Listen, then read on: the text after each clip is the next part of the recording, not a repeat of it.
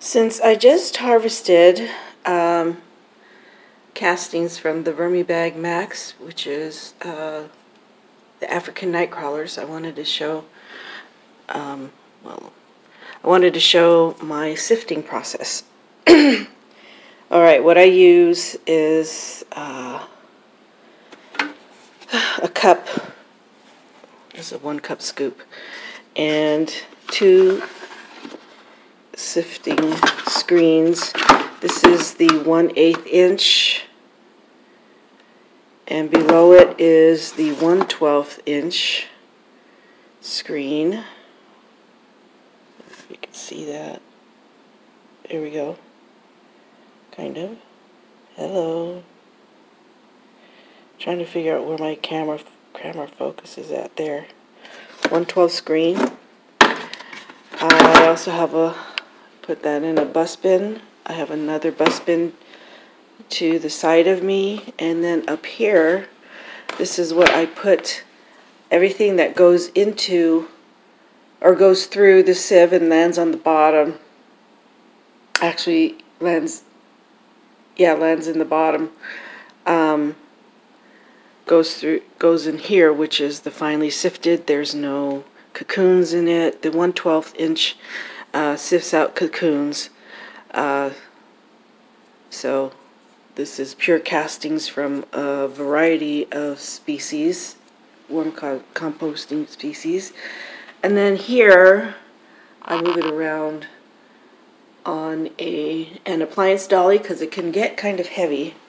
This is my tub for African nightcrawler castings and babies. Whatever falls through the uh, 1 8 inch goes in here. And in here, since there's cocoons and babies in here, um, I do have a bait cup that I use. I check it once a week. I just did it the other day, so anyway, bait cups are really good. Getting all the babies out and, you know, from any hatched cocoons. So, here's my process. I put it in here. I sift it out using two hands, of course, but I can't use two hands right now.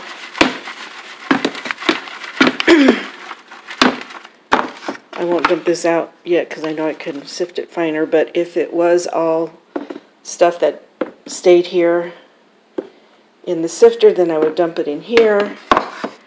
This stuff would go in here. In fact, I'll just do that right there. And this stuff would go in the finely sifted right there. Okay, so I'm going to turn this off right now because I've got to use two hands to do this and I'll be right back. Alright, here's the results of sifting the vermicompost. Here's the rough stuff. I didn't bother to uh, break down any of the bigger clumps, which you may want to do, but it's okay with me. If there were any worms in here, I definitely would either use this uh, to start a new bin or uh, since there's no worms in here, I'm going to just uh, put it back into the Vermibag Max and uh, let the worms process it more. The, what was left in, let's see, yeah, so that was on top of the 1 8 inch.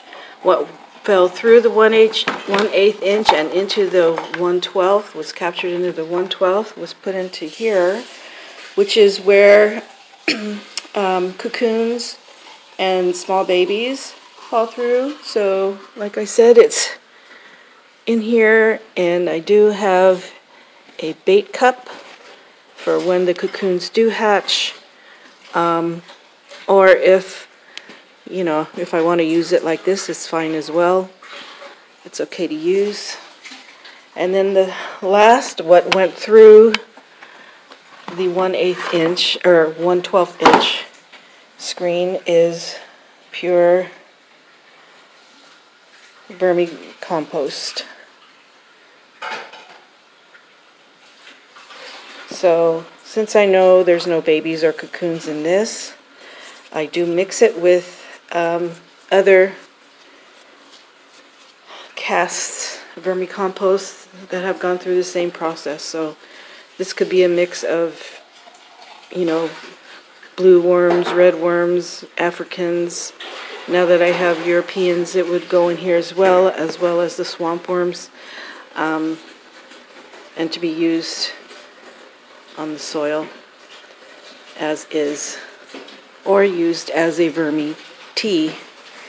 All right, so I wanted to show you my processes. Oh, one thing I wanted to mention as well. I didn't have any worms, but if there were any worms um, in the vermicompost, make sure when you dump this back, dump this in to not let it sit before you sift it. Otherwise, the worms will try to work their way down. They will get themselves enmeshed in the mesh screen, which in this case is steel, so they would get cut and injured. So take care of our worms here. They take care of us. So let's take care of them. All right, and that's the only precaution I think. So um, appreciate your time and thank you for coming on this journey with me.